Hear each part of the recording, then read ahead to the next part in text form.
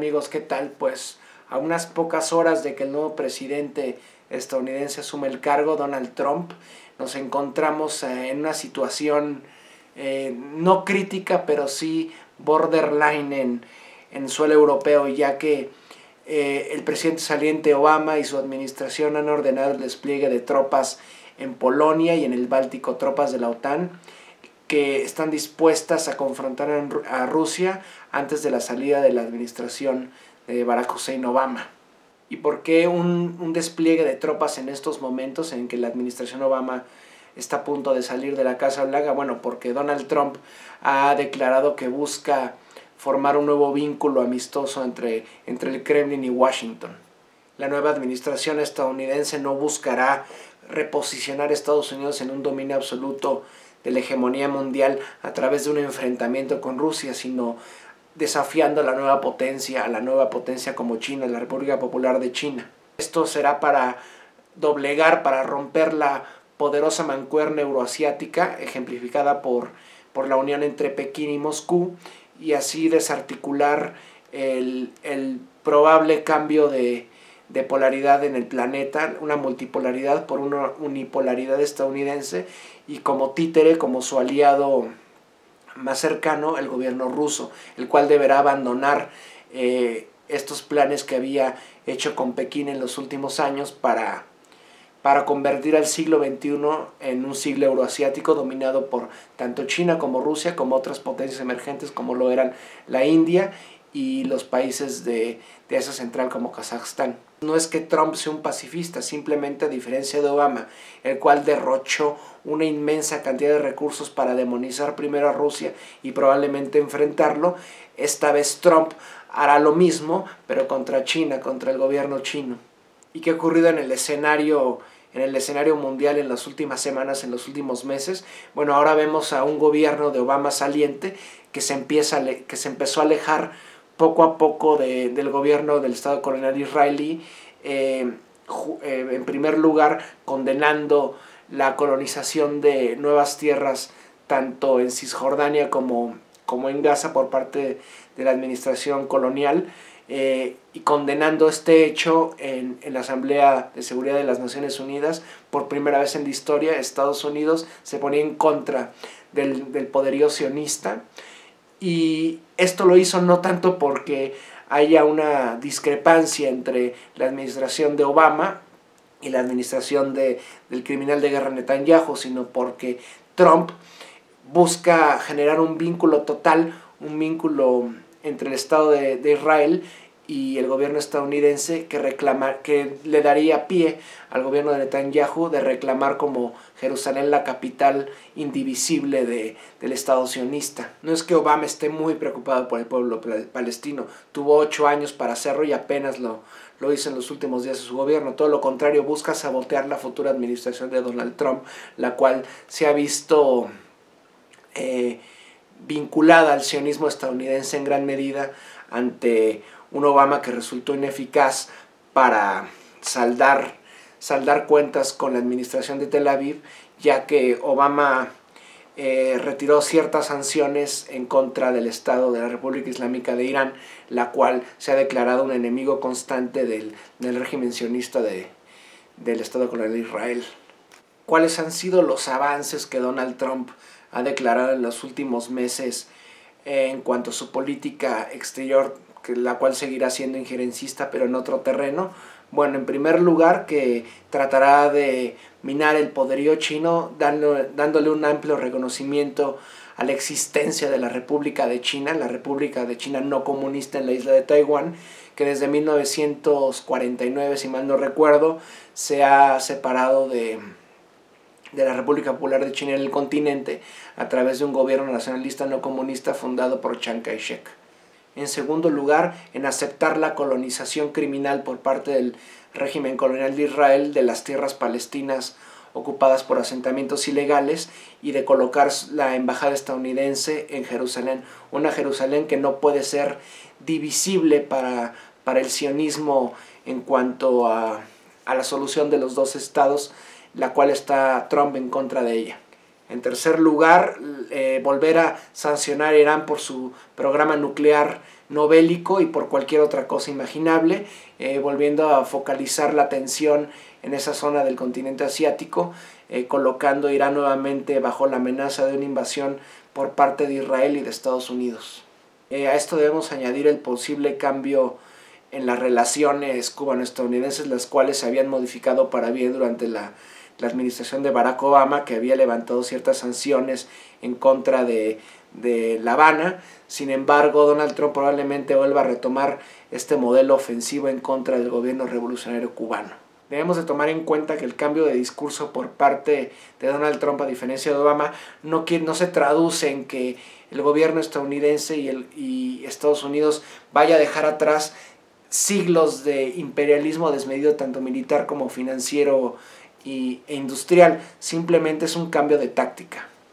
Esta táctica en lo económico se traduce en un retorno al capitalismo eh, industrial eh, nacionalista, incluso proteccionista, dejando atrás un neoliberalismo que ha sido ineficaz para lograr el dominio absoluto del mundo.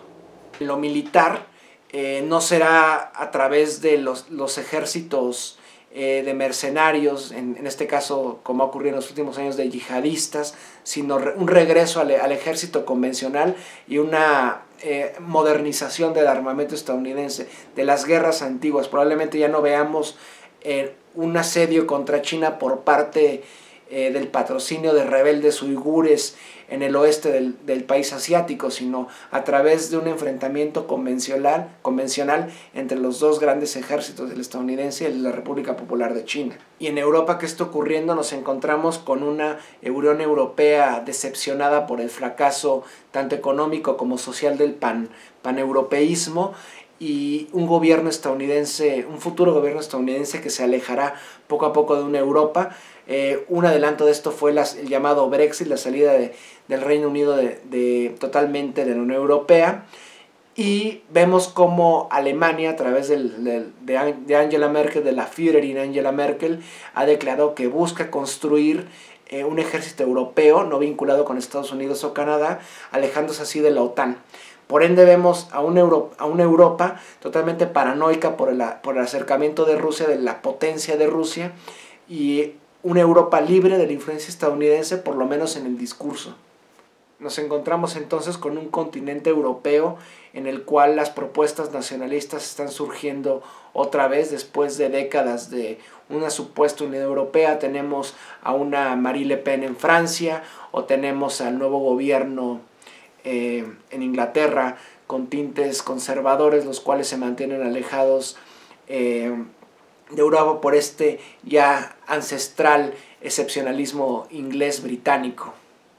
¿Qué ocurre, por ejemplo, en Latinoamérica? Pues nos encontramos con el regreso de las oligarquías más reaccionarias y contrarrevolucionarias, por ejemplo, en Argentina o en Brasil, que lograron sacar al gobierno de la presidenta Rousseff a través de un impeachment, o también en Colombia, como vemos la expansión de la OTAN al sur del continente americano, en Colombia, lo cual obviamente es una medida para desestabilizar a la vecina Venezuela, donde la, revolución bolivariana se mantiene con el gobierno de Maduro, sin embargo cada vez con más problemas, con una, una, una burguesía cada vez más violenta.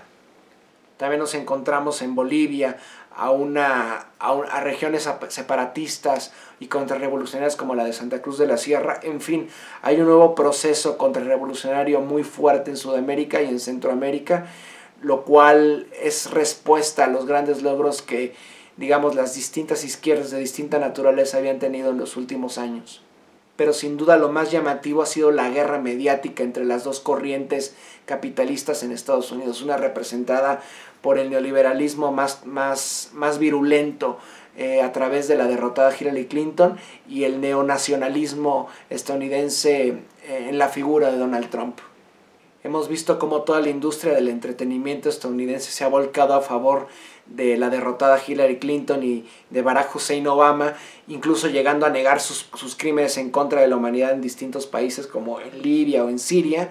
eh, todo con tal de detener el avance de un Donald Trump el cual ha recibido el apoyo de la clase blanca trabajadora de los Estados Unidos. En fin, hemos visto cómo no solamente ha habido una guerra de, eh, de las élites económicas estadounidenses por dos modelos capitalistas distintos, sino también se ha surgido una guerra racial de las minorías en Estados Unidos, tanto la, la, minoría afroamericana como latinoamericana que reside en Estados Unidos, en contra de un Donald Trump que representa a la clase trabajadora, digamos, blanca eh, del medio oeste, por ejemplo, en contra de, la, de las burguesías costeras, las cuales son, digamos, multirraciales, a diferencia de un centro mucho más conservador. Han habido chispazos y a veces más que chispazos de una guerra, una guerra racial, la cual es utilizada por Hillary Clinton muy inteligentemente para reclamar eh, todas las promesas que Donald Trump le hizo a la clase blanca trabajadora estadounidense, eh, desprestigiando a las minorías, entre ellas la latinoamericana y la afroamericana. Sin lugar a dudas, Donald Trump llegó al poder a través de su discurso xenófobo racista, pero la respuesta de Hillary Clinton ha sido utilizar este discurso y a grupos eh, minoritarios étnicamente para ir en contra de, del, del, racismo. Sin embargo, no es por el racismo por lo que Hillary Clinton está preocupada, es por el cambio en el modelo económico que Donald Trump ha promulgado, que entrará en vigor tan pronto entre su presidencia. Esto no solo augura un futuro muy negro para el mundo, sino para los propios estadounidenses, ya que el capitalismo no da más de sí. El capitalismo es un sistema rebasado desde sus inicios y lamentablemente los estadounidenses que desde hace siglos se han visto beneficiados por el expolio constante del extranjero, ahora resienten los efectos de este capitalismo demencial el caos político, social y económico, la enorme desigualdad en Estados Unidos podría traducirse no solamente en, un, en, un, reclamo en contra de un gobierno estadounidense que no puede satisfacer las necesidades más básicas de su pueblo, sino incluso en, un, en una separación territorial de algunos estados que buscarán su independencia ante un sistema que no responde y un gobierno inútil. Mientras tanto, en Europa, en el viejo continente, ante el fracaso de la europeización y del pan-europeísmo y la probable desintegración de la Unión Europea, veremos cómo se extienden como polvorín los nuevos neonacionalismos, eh, los nuevos intentos independentistas en distintas latitudes del viejo continente. En la Gran Bretaña, por ejemplo, no solo en Escocia, sino tal vez en, en Gales o en Cornualles, ya en el continente en Francia, en Normandía, en Aquitania, en, en Italia, en Sicilia, en Cataluña, en Bélgica, entre balones y flamencos, en fin, el nacionalismo está de moda y probablemente se, pronto en Europa veremos surgir nuevas naciones. El nuevo plan de Donald Trump no cambia mucho de Obama, no se ha dejado de contemplar la balcanización del Medio Oriente por divisiones étnicas y religiosas, por ejemplo la creación de un estado druso, la creación de un estado chiita en Irak y otro suní, en fin, eh, se auguran eh, futuras, futuros nacionalismos que modificarán por completo el, el, mapa del mundo, todo a favor del nuevo dominio estadounidense que busca reclamar su, la unipolaridad del mundo y la hegemonía a través del caos constante, esta vez con una nueva técnica, a través del trompismo, a diferencia del neoliberalismo de Obama y de las injerencias a través de ejércitos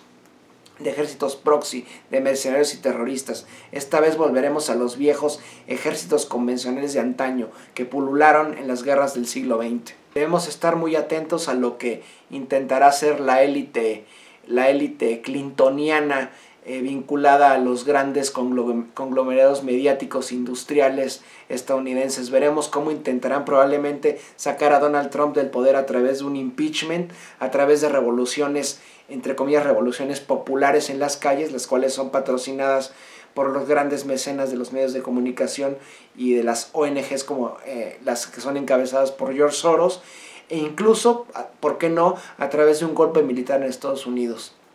el caos que ha creado Estados Unidos en los últimos dos siglos en todo el mundo ha llegado por fin al territorio estadounidense. Ahora vemos a dos élites luchar por el control absoluto del gobierno estadounidense y veremos cómo estas élites utilizan a sus votantes para crear una guerra sin sentido eh, con tintes raciales, los cuales esconden motivos puramente económicos. Constantemente se dice que en Estados Unidos no han habido golpes de Estado porque no hay embajada estadounidense en su propio suelo. Sin embargo, las cosas se pueden, eh, pueden modificarse en los próximos meses. De hecho, eh, si recordamos, el asesinato de John F. Kennedy fue eh, un magnicidio para disfrazar un golpe de Estado. Por ende, existen antecedentes sobre lo que las élites de este país son capaces de hacer para favorecer el constante enriquecimiento de sus élites en contra del bienestar de su propio pueblo y obviamente del resto del mundo. Por eso hay que estar atentos a lo que ocurra. Muchas gracias.